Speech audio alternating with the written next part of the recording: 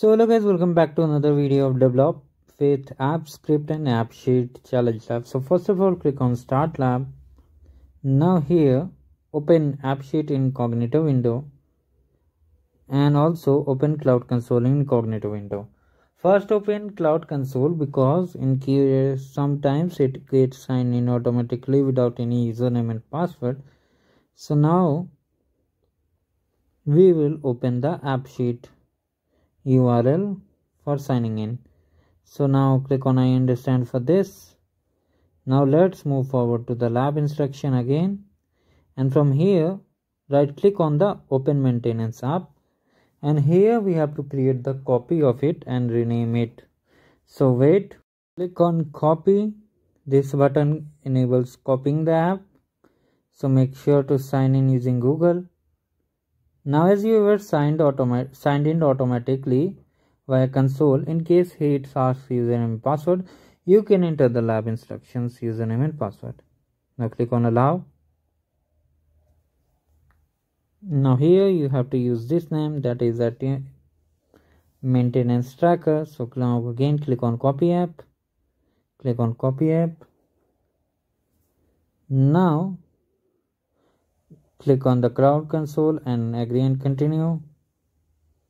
Now let's move forward to the GitHub repo once again. So we will be moving towards task number 2. So first of all after creating the app, now we have to open the drive and export some files. So for that just right click here and you need to download this file on your local system. Just right click the file and download it. Simply download it to your local system that means any drive or just downloads folder. Now, now from here the drive. click on open drive. So once you click open drive, now click on data and then add maintenance. From here click on tickets. So as you can see we have opened the ticket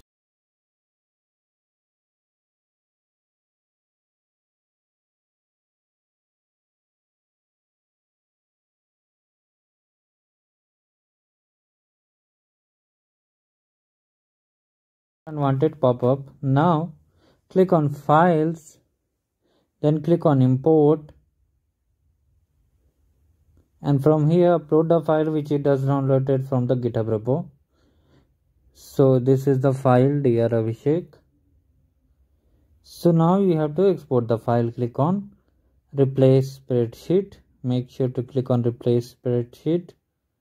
Oh, after replacing now, the spreadsheet the we are done with the both the tasks and now we will be moving forward to the last task. So let's see. As you can see we got a score for the two tasks.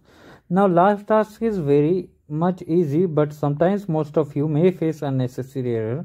So make sure to follow as i am doing. So from here right click on open app script.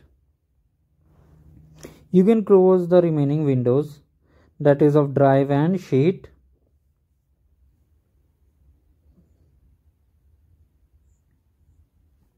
now from here we have to click on rename the project name. So first of all rename the project name. As you can see we have renamed the project name. Now enter this code. Make sure to copy carefully enter the code.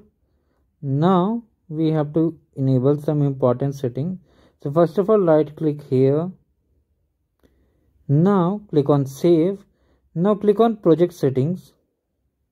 First of all wait for this one to open.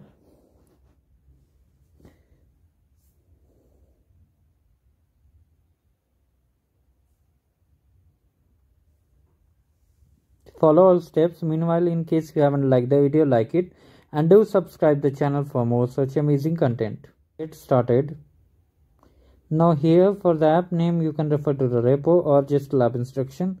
So enter the name select the username click on next the app type is internal click on next and then take the email from the lab instructions.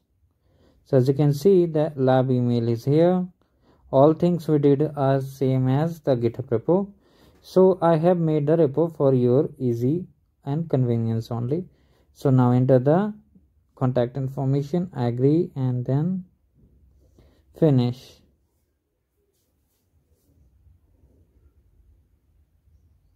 So after that you need to do some changes. Copy the project number from here. Click on project settings.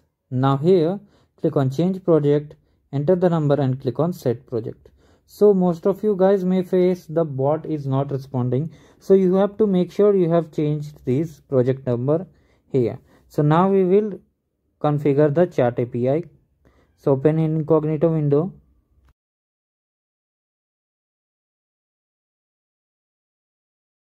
Now here please pay attention to it because this task is little bit tricky. Name from the github repo and for the url enter this now for the description enter helper chatbot. Now click on receive one-to-one -one messages join spaces and from here select deployment id so now enter the username. Let's move forward to the tasks. As you can see make sure to export the correct deployment id we have to export head deployment id not any other test deployment id so click on deployment test deployment. And as you can see here are two deployment id don't export this one always export this one. That is head deployment id so now copy it. Now move to that page and now as you can see all things are correct. Make sure to cross verify everything and then click on save.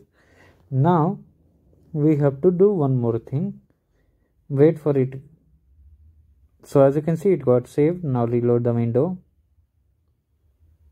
now it will show something unique so wait the app status is showing live to all users now you have to click on save after reloading this page when you have configured all file names, emails, app IDs, everything.